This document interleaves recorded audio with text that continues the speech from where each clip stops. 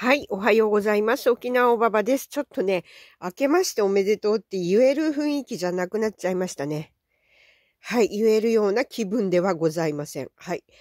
えー、まあ、地震がね、すごかったですよね。まあ、昨日からずっとね、えー、後を追ってたんですけど、まあ、大変なことになってしまいました。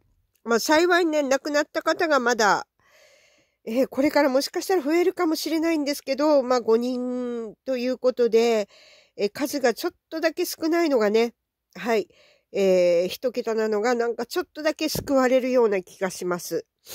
はい。えー、これね、あの、いろんな方がね、もしかしたらお手作りかもしれないっていうことを配信してるんですけど、これ違います。お手作りじゃないです。結論から言います。え簡単なことで私、あの、レッサーパンダさんのね、動画をずっと追ってます。はい。えー、地震情報を、毎日の地震情報を配信してる方です。レッサーパンダさん。えー、知ってる方も多いと思います。この方がね、もう多分一週間ぐらい前から石川地方に大地震が来るから気をつけろってずっと言ってたんですよ。もしお手作りだったら、こういった予測はできないはずです。少なくとも。お分かりになりますよね。はい。えー、予測できてたんですよ。はい。えー、レッサーパンダさんが一週間ぐらい前からずーっと言ってたんですよ。石川地方はちょっと大きな地震があるから気をつけてくれっていうふうにずっと言ってました。はい。記憶にある方もいらっしゃると思います。私のね、動画見てて、レッサーパンダさんの動画を見てらっしゃる方もいらっしゃるので、記録にある、記憶にある方もいらっしゃいます。予告で、予測できてたんですよ、これ。はい。レッサーパンダさんがなんで気象庁は言わないんだって言ってました。はい、ずっと。まあ、あのー、わかりますよ、見れば。はい。一週間ぐらい前からずっと言ってました。大きな地震が来るって。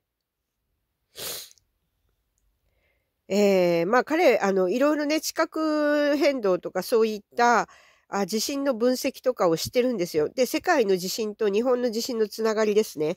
こういったものも分析してます。で、えー、彼は一週間ぐらい前からずっと言ってたんですよ。石川県危ない、要注意だと大きな地震来るよって言ってたんですよ。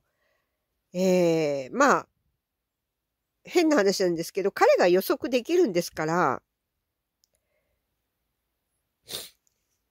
気象庁本当は予測できるはずですよね。一個人が予測でき、できるんですよ。はい。えー、まあでもね、えー、日本人の性格を考えると、予測できてもね、それを言ったとしても、信じる人いないでしょうね。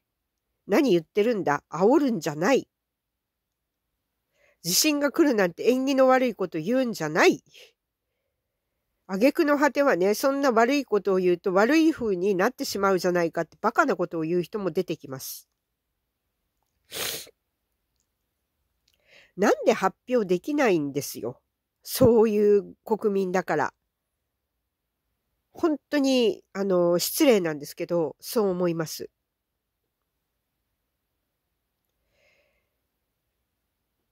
危険は言う、言うなじゃなくて、準備する。で、ここの地域にね、危ない地震が来るって言ったら一週間ぐらいね、避難してくださいっていうのが普通は当然なんですよ。はい、1、2週間ね。これ言ってたのにレッサーパンダさんぐらいですよ。まあ私も言ってます、ますけどね。えこういうことが多分ね、気象庁が言ったら多くの日本人は文句を言うでしょうね。何を縁起でもないことを言うと、正月早々。で、結果というと、怒ってしまいました。これは予測できてるんですから、一個人が予測できてるんですから、お手作りではありません。で、波形のことを言う方がいらっしゃいますけど、えー、地球は生きてます。これが答えです。地球生きてます。なんで、えー、浅い地震と深い地震のね、波形は、まあ違って当然なんですよ。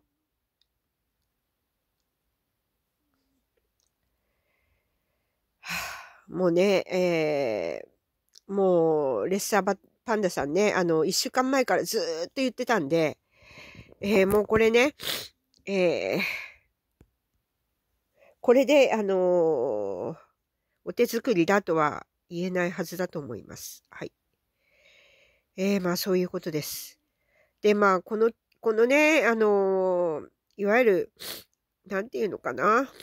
地震についてはね、えー、ちょっと、んって思うところがあるんですけど、もしかしたら、あの、法律でできないのかもしれませんね。わかりません。えー、火災が起きましたよね。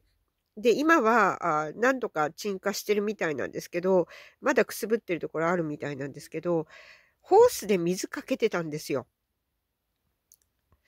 自衛隊とか、上空から消火剤を撒くとかできなかったんでしょうか森林火災の時はやりますよね。上空から、いわゆる消火剤ですね。これを撒くと。そうすると消化が早く進むってありますよね。ホースでやってたんですよ。法律的な問題があるのかもしれません。街の中ではね、消火剤は使っちゃいけないみたいな法律がもしかしたらあるのかもしれないんですけど、変えた方がいいですね。地震の場合は例外として。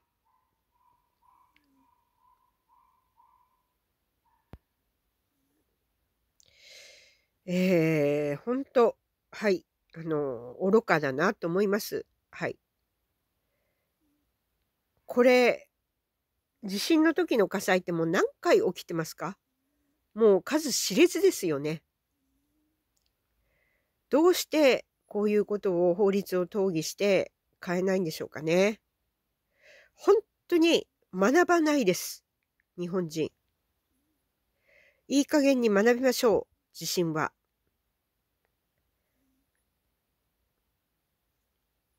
未だにね、そういうことを言ってるから引き寄せるとかね、バカなことを言う人がいます。とんでもないです。予想してたんですよ。予測できてたんですよ。個人が。もう悔しいですね。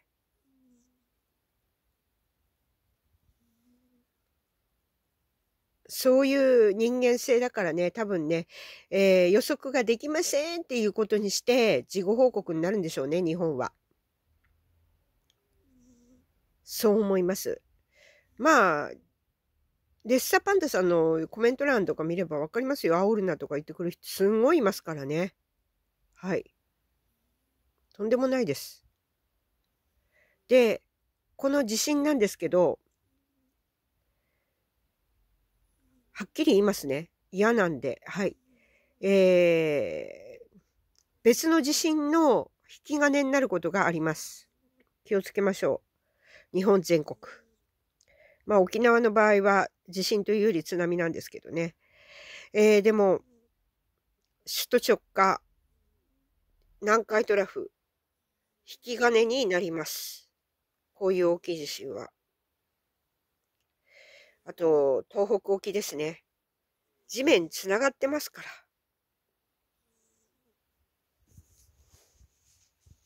昨日はちょっとね、えー、元旦のこともありますし、ちょっとずっと、まあ、レッサーパンダさんのどう、まあ、ライブをね、えー、ずっと見たりとかもしてたんで、えー、配信しようかなとは思ったんですけど、やめておきました。しっかり準備しましょう。目をそらさないでください。えー、何回も同じことの繰り返しです。これでそらしたら。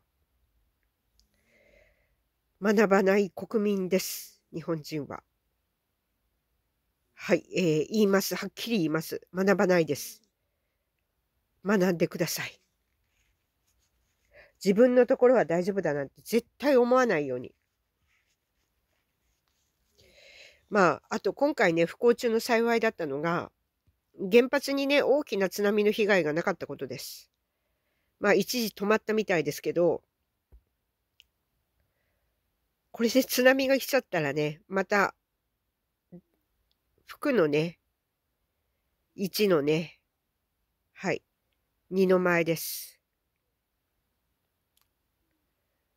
もう原発も見直した方がいいですね。非常用電源を屋上につけるとかね。未だに地下につけてますからね。えー、もうね、えー、なんでこうね、学ばないんだろうって怒りしか湧いてこないんですけど、はい。えー、そういうことです。まあ、とりあえずね、犠牲者の方が少なめだった、人数が少なめだったっていうのは、多少、多少ですけど、気持ち的に違うかなと思います。はい。これ大変なことになりますよ。本当に今年はね。えー、なんで皆さん準備だけ本当にしてください。えー、いわゆるね、防災も気を抜かないように、絶対気を抜かないでください。今年来年2年間すごい、すごい年になります。えー、なんか朝からお説教してしまいましたけど、本当にね、思います。あの、もうちょっとね、国民が来なかったらじゃあどうなるんだとか、あそういったね、バカなことを言う人間が少なければ、気象庁も発表してたと思います。個人がわかるんです。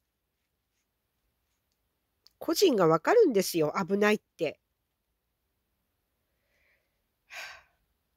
目を覚ましましょうね。日本国民の皆さん、そう思います。えー、過去から学びましょう。もう同じことの繰り返し、これで何回目ですかってことです。